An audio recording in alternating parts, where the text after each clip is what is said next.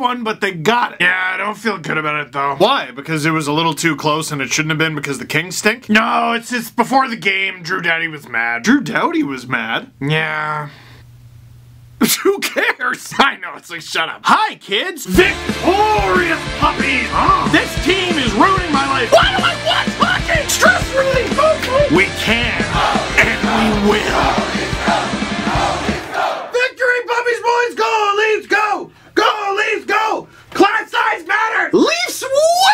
Win! Three to one over the LA Kings. John Tavares was back. Jake Muzzin was back. Travis Dermott's been back for a few games, and I feel like I should probably mention him at some point. That was a game the Leafs had to win, and they did. And it wasn't the cleanest win, but they won it. And I tell you what, you know what, folks? The coffee is good today. Yep, it is, yep, it's quite good. And I gotta say, the reaction to this game, and, and, this video was called Leafs Fan Reaction, the reaction to this game that I saw on the hockey Twitter was one of the most fascinating reactions that I've seen this season. So let's go through them all. But first, I want to give you my reaction to the game. First and foremost, Nick Petan called up, what? Inserted into the lineup, what? And put on Tavares and Marner's line, what? People were calling it a showcase game, and a lot of people pointed out, uh, really? You're gonna trade for a guy because he played one good game on a top line? But Nick Nic Is a fascinating player, and man, after this game, after his performance, I hope the Leafs don't trade him. The reality of the Leafs situation is once Zach Hyman comes back, and it sounds like that could only be a couple games away, the Leafs are going to have to either send down, waive, trade three players off of their roster. I know Petan is 24, and it's so rare that someone makes this big breakthrough when they're 24, but Ilya Mikheyev exists, Trevor Moore exists, and I wouldn't call either of them surefire top-line players, but you also wouldn't want to get rid of them for nothing. And the Leafs sent Nick Petan down to the minors. He just demolished it, proved that he is way too good for it, albeit in two games. So the Leafs said, all right, you want to play on the top line? We'll show what you can do on the top line, all right? And Trevor Moore, we know we can fill in on the bottom line with him. So you, you just give it a shot there, Nick. And if you stink, you're done. And I tell you what, if the Leafs lose this game on home ice with rest to the LA Kings,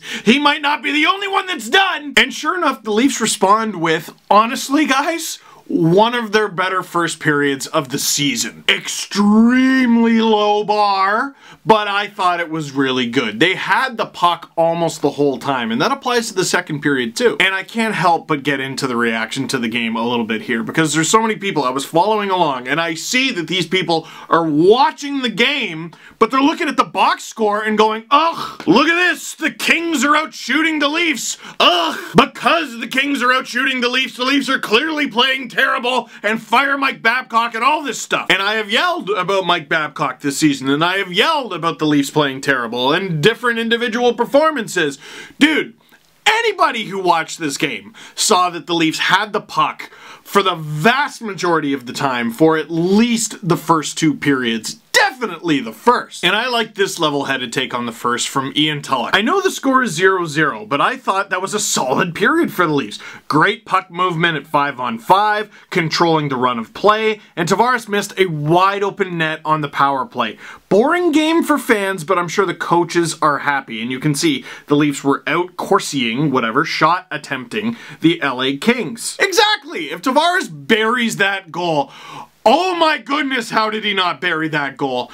We're talking about that period completely differently. And oh, you know, they're winning, but we'd probably be saying they should be up two or three nothing. And Petan set up Marner for a one-timer, and he missed with that, and Tavares missed, and all these misses. The Leafs had, I want to say, twice as many missed shots as the LA Kings. And that, to me, was the most easily criticizable thing. Hit the bloody net! It's the Kings! It's Jonathan Quick! Look at his stats! They're pretty bad. Hit the net! Look at how the LA Kings have played this season. If you hit the net, you're probably gonna hit the back of it. Oh, oh, okay. I think I'm getting the frustration. You see how I'm yelling, conveying my emotions? The first period was extremely frustrating, but not because the Leafs were bad. It's because the Leafs weren't converting. And yes, there is a difference. On Saturday, outside of the first period, the Leafs were bad. It wasn't that they weren't converting, they were bad. That was frustrating. In this game, it felt like the Leafs were dominating. Possession dictated that the Leafs were dominating. The scoreboard did not. That was the frustrating part. And I was seeing all these people like just posting the raw stats of the game who clearly didn't even watch the thing going, I don't understand what's wrong with Leaf fans. You know why I haven't told you what I thought about the Joker movie? I thing! So it's not confusing to me that people who didn't even bother to watch the game and just looked at the numbers went, I don't get it. You tend to not get the vast majority of things you don't bother to even try and understand. Where was I? Oh yeah, so that's how the first period went. And then, this is what sent people overboard. Leafs head to the penalty kill. Ah. They show the stat on the screen. Kings won for their last 19. It's going in the net. And Alex Iafallo, or Yafalo, or whatever you want to call him, scores because of course he did. And I am so glad that the Leafs won this game. Unbelievably glad. Because I'm watching this going, I know the Leafs have been the better team so far. I know they have. But if the Leafs end up losing this game, I don't know how I'm going to calm fans down. I don't know how I'm going to convince fans not to fire anybody. I don't know how I'm going to convince myself. And luckily, thank gosh darn goodness, Alex Kerfoot was not taken out of the game when Jeff Carter drilled him, but it's okay. Morgan Rielly like shoved him a little bit to let him know he existed. Because Freddie the Goat helping to create a turnover, the Kings falling over themselves because they're the Kings. Kerfoot flying in and what? Ripping it past Jonathan Quick like he's Nazem Kadri, Alexander Kerfoot with his fifth of the season. That is second on the Toronto Maple Leafs, by the way. Yes, the same Toronto Maple Leafs that have Mitch Marner, William Nylander, and John Tavares. Asterisk, he has a broken finger. His fifth of the season. What is going on? Now, after the game, they asked Kerfoot about his team leading eighth minor, which is way too many. But consider this. Kerfoot has just one fewer point than Kadri thus far this season, and the same amount of goals in a reduced role. Average time on ice, Kadri 17 minutes and 28 seconds. Kerfoot 14 minutes and 51 seconds. Granted, I'm sure Babcock would like to play Kerfoot more if he wasn't in the box so much, but when he's not in the box, what an offensive star this guy is turning into. And surprisingly, the better part of that Kadri trade, oh, we'll get to that later. What really worried me in this game is, yeah, the Leafs controlled the play in the first, okay, that's what I thought. The Leafs controlled the play in the second, yeah, okay, that's what I thought. Then in the third, the first half of it, it really felt like the Kings were starting to come on, and it's like, oh my god, you cannot let this one escape your grasp. Leafs power play fails again again. Can't wait for that one to pop off. Kings get another power play. Is this how it's gonna end? And then finally, with under eight minutes to go, Auston Matthews, offensive zone faceoff, scrambles the win a little bit. It ends up behind the Kings net, panicked but great effort of a pass from Andreas Johnsson, hits Nylander in the skate, puck is lying in front, and Auston Matthews! I don't care what kind of a game he had before this goal. He scored the game-winning goal!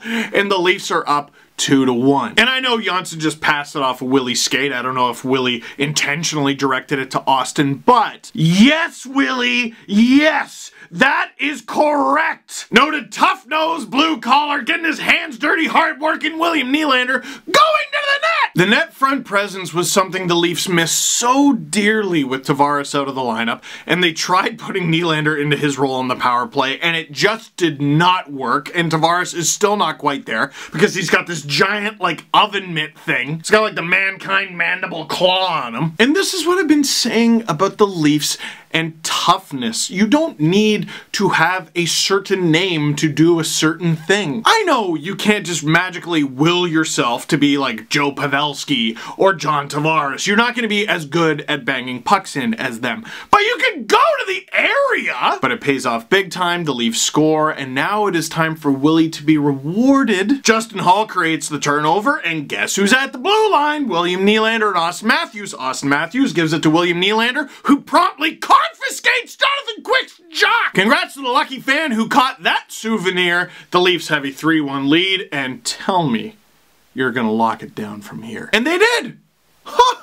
And they did! The Toronto Maple Leafs win the game against the LA Kings, and still people are miserable. I'm still not totally satisfied with where this team's at. Dude, Tyson Barrie, we got to talk about. Like, Cody Ceci is shocking, and we know that, and wow, I don't know how he didn't climb over the low bar that we set. But if Tyson Barrie so far had been like half as advertised, the Leafs would be laughing. And I actually thought he looked pretty good in little flashes in this game. The Leafs got to find a way to get him involved. The plan seems to be to eventually shove Ceci down the lineup, and I totally get that. If the Leafs are going to do anything in this league this season, Barrie's got to be involved. That guy's got to be scoring at at least a 40 point pace. He had 57 points in just 68 games two years ago and 59 points in 79 games last season. He's got 5 points in 16 games so far this season. All of them are assists and that's a 26 point pace.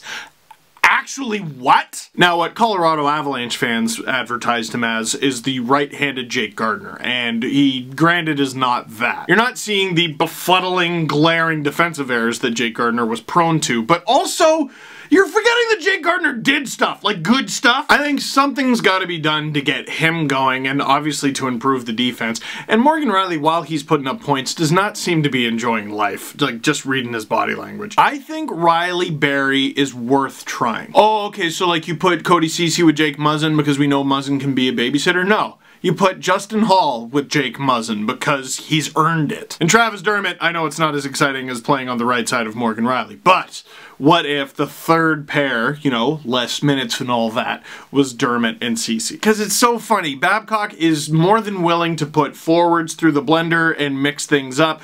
Meanwhile, their defense is pretty terrible and there's never any change there. So that's a frustrating thing that I would like to see changed.